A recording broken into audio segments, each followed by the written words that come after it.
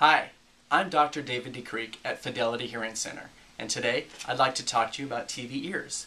TV ears are an assistive listening device designed to help you hear the television through some amplified headphones.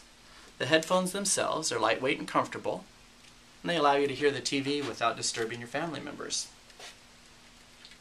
TV ears are based on an infrared transmission system, which means that there's a little infrared receiver in the headphones, and there's an infrared transmitter that sends a signal from your TV to the headphones.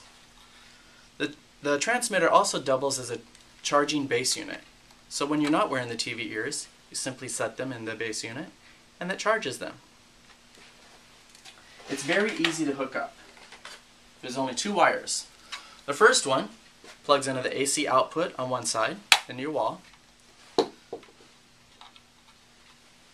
And the other plug plugs into the 12 volt input on the back of the base unit.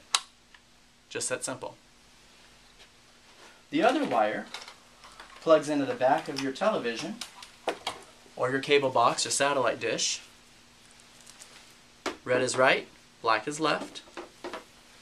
And the other side of that cable plugs into the back of the base unit. Into the audio port. Just that simple. That's all there is to it. Now you simply set that on your nightstand or next to your TV, and then you could listen to the TV as loud as you need without disturbing anybody else in the house.